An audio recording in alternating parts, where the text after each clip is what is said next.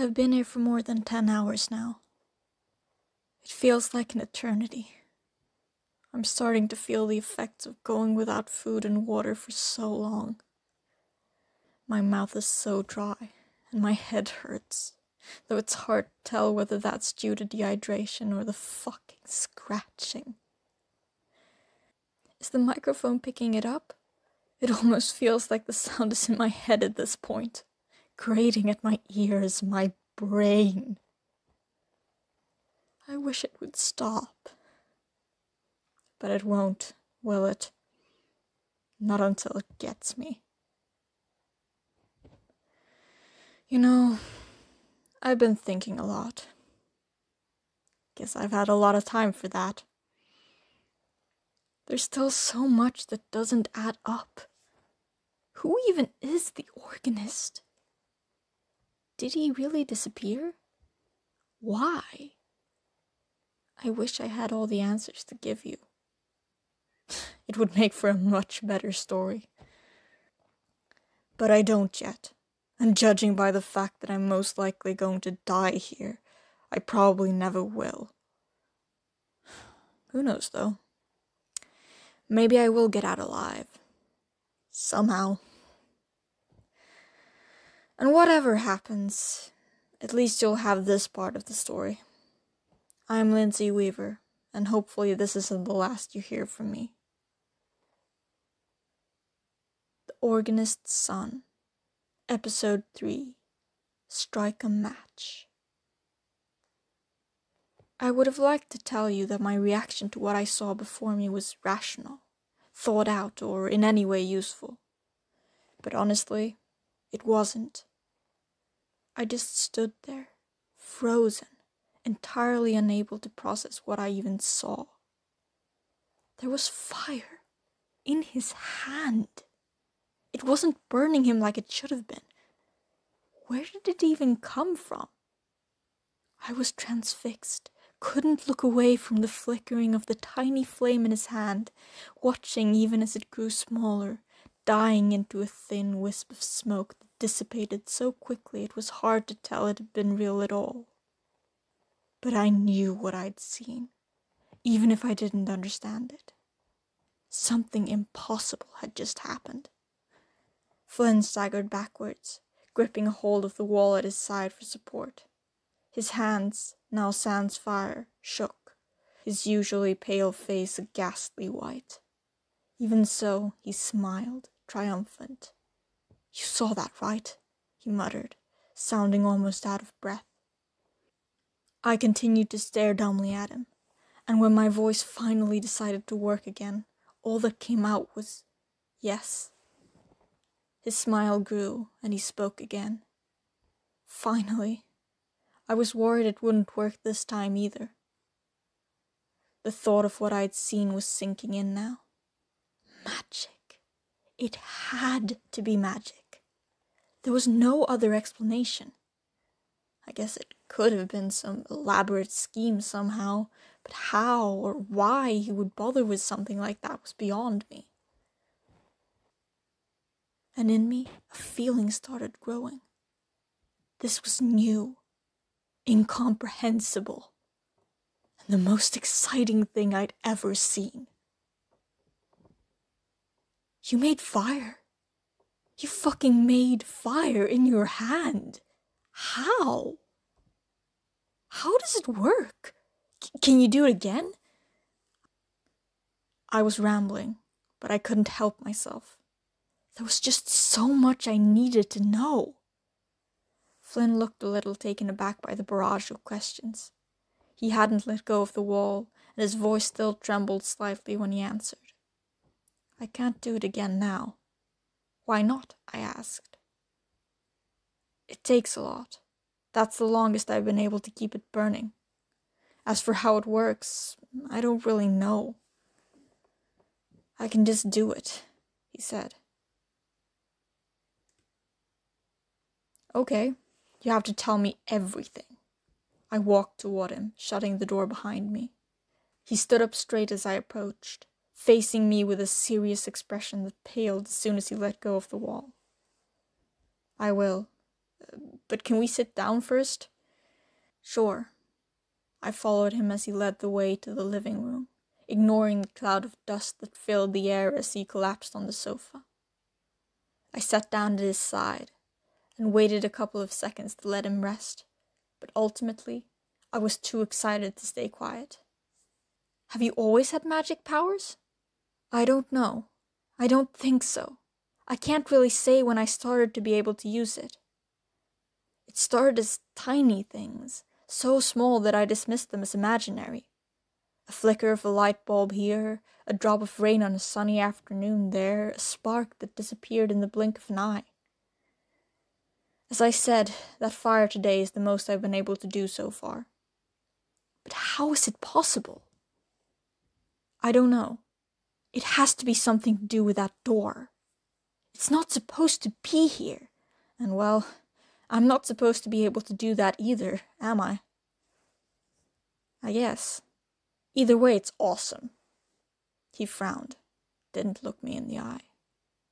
You think so? Can I ask you another question? While my curiosity about his situation was by no means sated, there was one question that burned brighter in my mind than any other. It didn't make sense. Not really. I mean, none of it made sense, but I just had to know. Why me? Why did you tell me this? Why me in particular? Hell, why anyone? I don't know if it's just a movie thing, but don't people with superpowers usually keep them a secret? Well, I have kept it a secret a long time. Not really because I don't want people to know. I do. It's just that it's hard to get people to believe in something like this. Let's just say this isn't the first time I've tried to do this. As for why, well, you know how I told you about my dad going through the door? Well, I think something went wrong on the other side. He got stuck, and now he can't return to our world. For the past ten years, I've been trying to figure out a way to get him back. But it hasn't been going well. I can't open the door. It's been locked for years now, and I haven't been able to figure out a way to get it open. Now I'm out of ideas. I think I need help. I mean, I know it's a lot to ask, and you can definitely say no. I know this is scary stuff and all, and it's probably dangerous, so I won't hold it against you if you don't want to do it. But please, Lindsay, will you help me save my father? I wish I could have said I hesitated, that I weighed my options, that I calmly and rationally considered what to do. But you have to understand I've always wanted something like this. Something outside of the grey mundanity of everyday life, something exciting and filled with adventure and intrigue. My very own mystery. So, how could I say no? How could I possibly say no? The yes tumbled out of my mouth faster than I could think, and I didn't regret it. Even now, I'm not sure I can even when I know what it's brought me. I left Fletcher Street that day with excitement coursing through my veins. The lonely chill of the dark, sleeping street that another day would have hastened my steps did not reach me, for the houses were no longer the same, nor the pavement or the orange glow of the street lamps. Even the moon above seemed different now, because around me the air seemed alive with magic, and I was high on it. It took a good long while for the emotions to dim enough for me to start thinking things through. It was late when I got home, but I didn't even attempt to go to bed. Instead, I sat at my kitchen table, hands curled around a steaming cup of tea. The world still felt a bit off axis, my hands still not quite my own. But I could feel the heat radiating from the cup, and it grounded me enough to think through what had happened. The implications of what the existence of magic meant soared in my mind. Exciting and terrifying prospects of how the laws of nature could be bent or broken. Anything I could imagine, anything at all, could be real or could be made so. It took some resolve not to be swept up in a flight of fancy, but I couldn't let myself indulge in that before I focused on the matter at hand. Flynn had asked me to help him. Just the thought of that awakened the jittery excitement in my chest anew.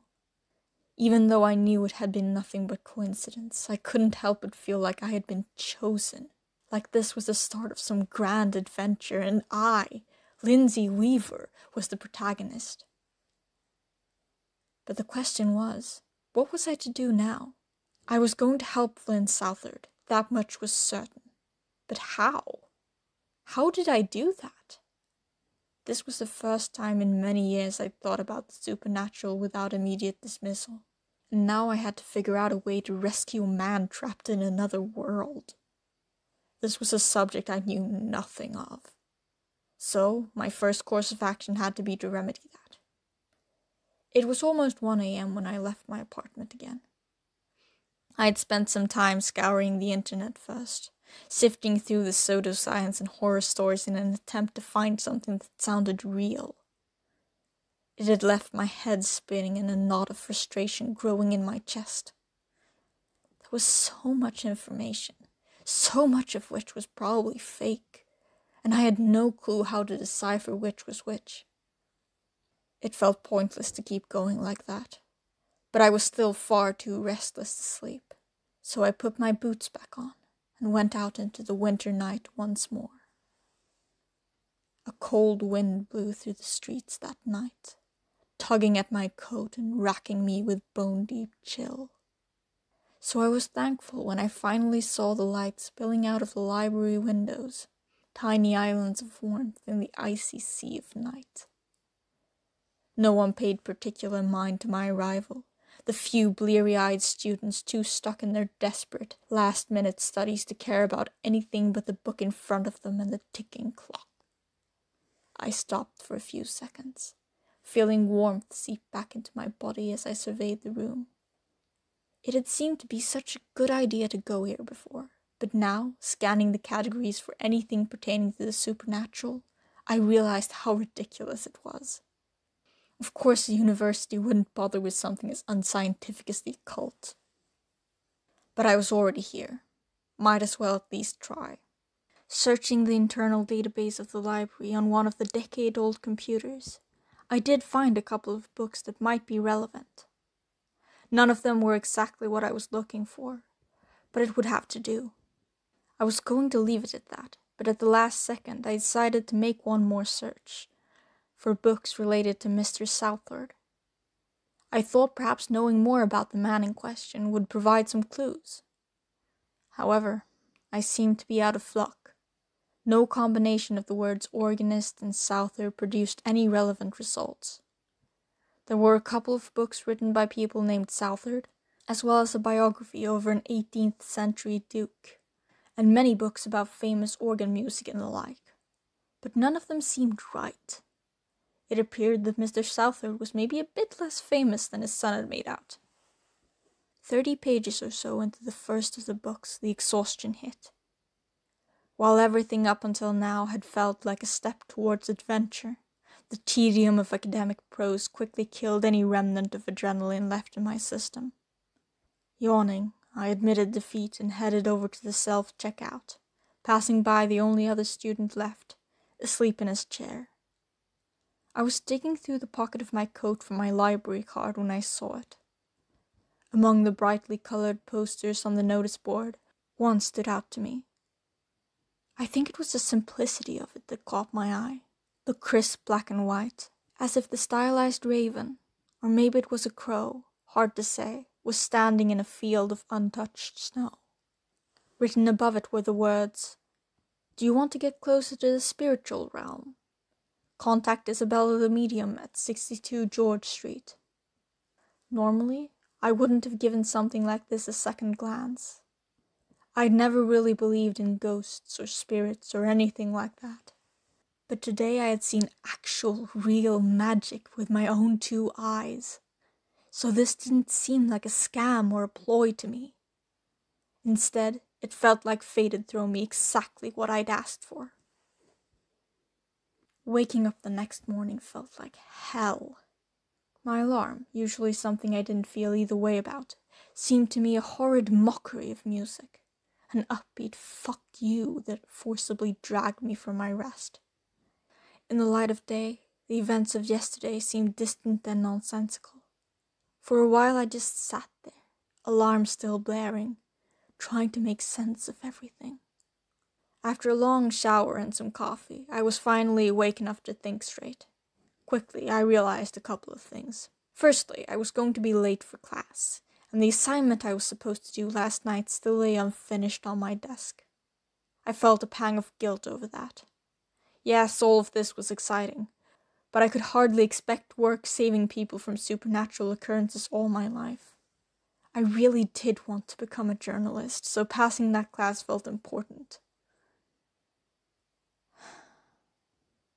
Not that it matters now. Secondly, I had several missed calls. Not only from Georgia, whom I promised to notify when I left Flynn's house and had then promptly forgotten about, but also one from my mother.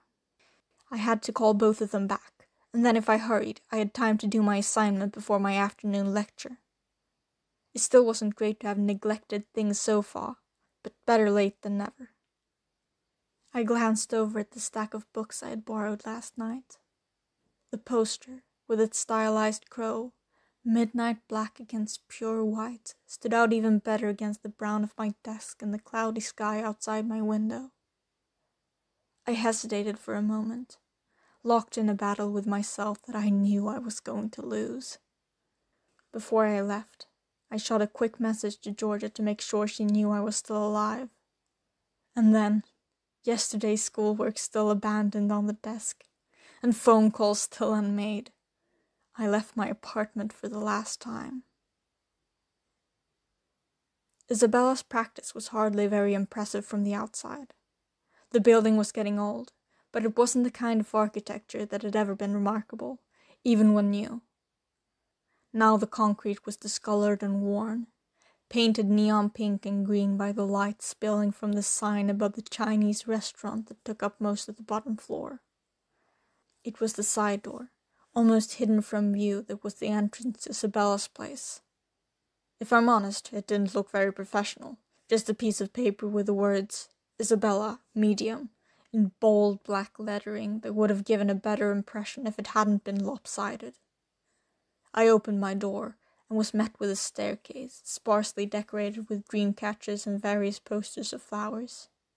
It was at the top of these stairs that the shop itself was located. It was a tiny place, only large enough for a counter and three shelves. At a glance, the items on display hardly seemed impressive. It appeared to be the same kitschy knickknacks sold in any second rate spiritual store, all overpriced crystals and novelty Buddhas. The air was permeated by the dizzying smell of incense. At the moment, it was empty. I walked up to the counter and rang the small bell that sat atop it. After that, it didn't take long before I heard footsteps approaching, and soon the beaded curtain that obscured the rest of the space from view was parted, and a woman stepped out. I had expected her to be in some way mysterious, perhaps an ancient old woman wrapped in shawls, or maybe a scowling, unnaturally pale beauty of indeterminable age. But Isabella Rathway did not look anything like that. She was very short, probably in her thirties, with rounded features and wavy blonde hair. If I had to describe her appearance in one word, it would have to be pleasant. Welcome. Can I help you with anything, love? She smiled, wide and toothy. Are you Isabella? I asked. Yes, that's me. Now what can I do for you? I heard that you can contact the spiritual realm. Is that true? Yes, of course. Do you want to know your future? She paused, clearly gauging my reaction. Or maybe there's someone on the other side you want to contact. Well, uh, yes. Wonderful, love. Come with me. She turned, parting the beaded curtain and stepping into the back room. It was a small space and quite cluttered. As I sat down opposite Isabel, I couldn't help but feel a bit claustrophobic. Isabel, on the other hand, seemed used to the cramped space, deftly placing and lighting a few candles before speaking again. First, what's your relation to the departed? When you say departed, you mean dead, right? Yes, love, I mean dead. Well, what if the person I want to contact isn't dead exactly? Is that still something you can do? Isabella's brow furrowed. Her cadence had changed when she continued. What do you mean by not exactly dead? I can only contact other realms, so if the person you're looking for is still in this one, I can't help you. Sorry, love. No, he isn't in this world. Then what do you mean? Where is he? Isabella leaned in closer, interest gleaming in her grey eyes.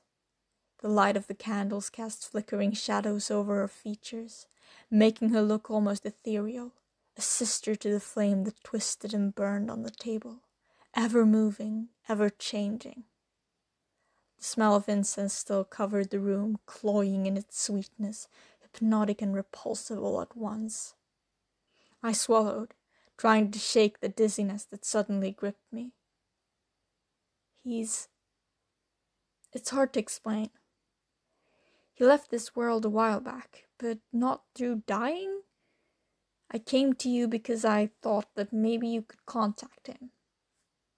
Can you do that? Isabella was silent for a while. I don't know. Maybe. I would need more information, though. Who is this man? How did he get to another world? The way she said it gave me pause. There was an eagerness in her voice, almost a hunger, and there was part of me that started to wonder whether this had really been a good idea. Isabella was nice and all, but the atmosphere put me in a weird mood. Between the tight space, the candlelight, and the incense, I felt boxed in, out of control. How did I know I could trust this woman that I'd just met? How did I know she believed me? How did I know if she was a fraud? I didn't. Perhaps getting her involved was a bad idea. Perhaps I should just walk out right now. But on the other hand, what else was I going to do? This was my only lead, and besides, what was the harm, really? Worst case scenario, she was a fraud and I was back to square one. I would be no worse off than I already was. No, this was worth the risk. So I told her. I told her the entire story about me and Flynn and his father. All the while she sat there, taking it in silently. When I was finally done, she leaned back in her chair, eyes distant. She spoke softly and with great care. That sure is something. I could certainly try to contact Mr. Southard, though I must admit that I don't know if it will work. I have never tried something like this before. It's probably going to be hard. So you believe me? I do, yes. Is there anything I can do to help? Can I make it easier for you somehow? Well, knowledge about the person I have to contact usually helps things along. Age, birthday, likes, dislikes, that sort of thing. Any information at all, really. If possible, I usually conduct the ritual at the place where the person died. That makes the connection stronger. I'm sorry, I don't really know a lot. Just his name and profession. Well, not really his full name, but the last name. Is that going to be enough? Isabella smiled. Well, love, I can certainly try, but without anything more concrete, it's doubtful we'll get results. That wasn't what I wanted to hear. I could, of course, try to research Mr. Southard more thoroughly and come back at a later date but I could feel the promise of adventure singing in my blood, and waiting didn't feel like an option. So, like an impatient fool, I took the other, somewhat senseless alternative. You said you usually go to the place the person died, right? Yes, but obviously there isn't a place of death in this case, considering no death occurred. Well, there is a place of disappearance. Perhaps going there would be helpful, I said. I think it very well might be. When should we schedule this for? I'm all booked up for the next couple of days. Maybe the beginning of next week? I couldn't help but feel disappointed. I've never been good at waiting, and right then a week felt like an eternity. Is there any way we could do it sooner? Maybe today? As long as you're free, of course. Well, I actually don't have any appointments today. We could head over there right now, if that works for you. Yeah, mm, that works just fine, I said. Great. Isabella quickly blew out the candles and stood up, picking up a coat from where it lay draped over one of the unused chairs and guiding me toward the exit. When we had reached the top of the staircase, she stopped for a second. Oh, and by the way, love, I charge extra for visits. That's fine, right? Oh, uh, yeah, sure, I said, and she smiled. And then we exited the building, heading back to Fletcher Street 11. As we left the shop, I felt my phone buzz in my pocket. With a sigh, I pulled it out. Mom was calling again. I. I didn't answer. that would have been the last time I talked to her. And I didn't answer. Oh my god. I'm going to die here. Aren't I? I'm going to die in this shitty ass vent, making this stupid recording. And I will never speak to my mother again.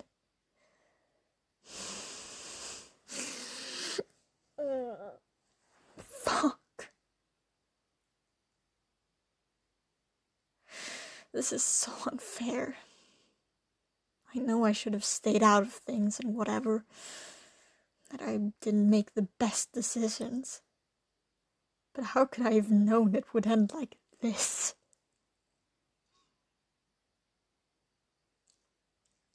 I'll never talk to my mom again.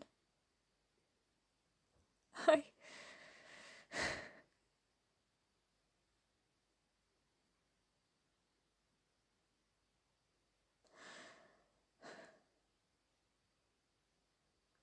Sorry. This has been Lindsay Weaver. I think that's enough for now.